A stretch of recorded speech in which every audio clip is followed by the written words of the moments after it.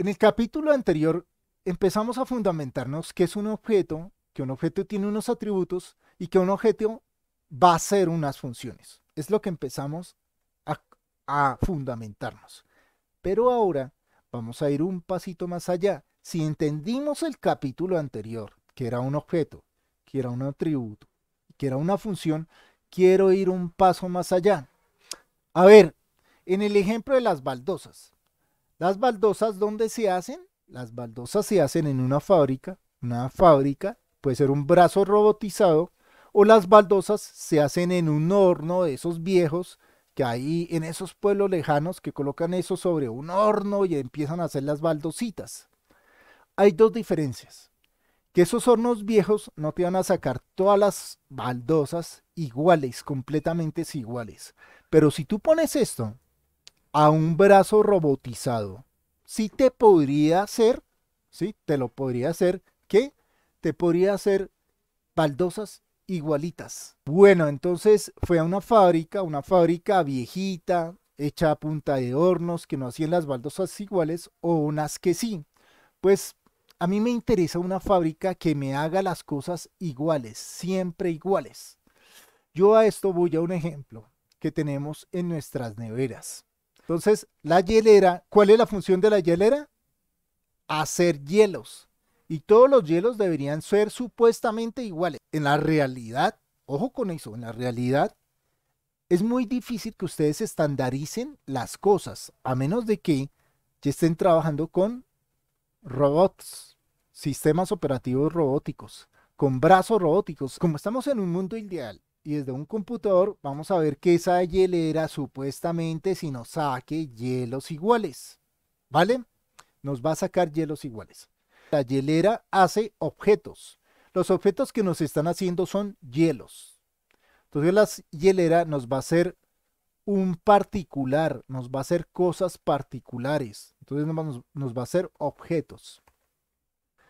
Los objetos, cuando van saliendo de algo como de una estructura que nos va a sacar miles y miles y miles de objetos iguales, la clase me va a hacer objetos totalmente iguales, con sus atributos iguales, los atributos que tenga.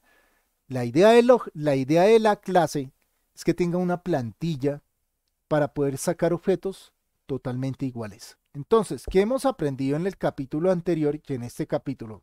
Aprendimos que hay objetos, que hay objetos, que los objetos tienen atributos, y que los objetos van a hacer, generar una acción, un método una función. Y hoy aprendimos que los objetos también para hacer objetos iguales y objetos iguales que los metan en un molde y sean siempre iguales en el mundo digital, los podemos meter en una clase para que sean siempre iguales los objetos. Ahora, tú a esa clase si ya la estás metiendo en un molde, ¿sí?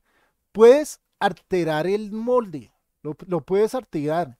Y en vez de meter agua, puedes hacer hielitos de yogur, ¿sí?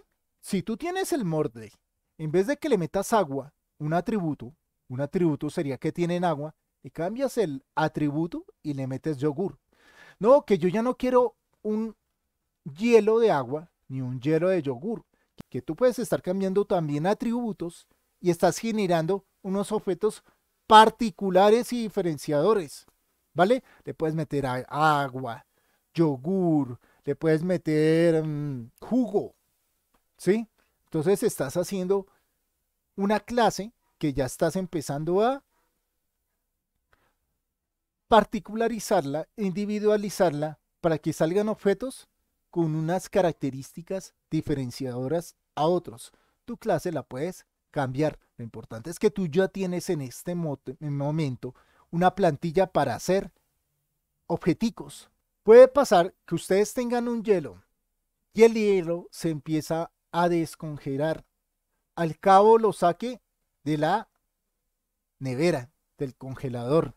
Yo no planifiqué que ese hielo se descongelara tan rápido o tan lento, pero sí pude entender que el hielo si lo saco del, del congelador se va a empezar a descongelar. Eso puede ser una eventualidad. Yo puedo tener planificado o no que el hielo se descongele, pero no puedo tener planificado la celeridad, el momento de aceleración en que el hielo se descongele tan rápido o tan lento.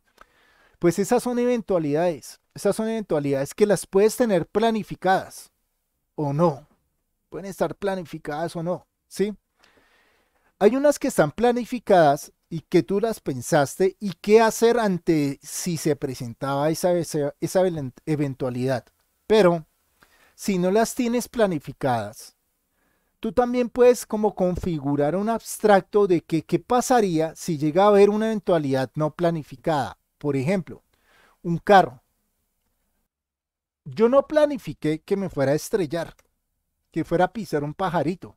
Yo no planifiqué que, pues, eh, me fuera a quedar sin frenos, que me quedara sin aceite, que la caja se dañara. No está planificado eso.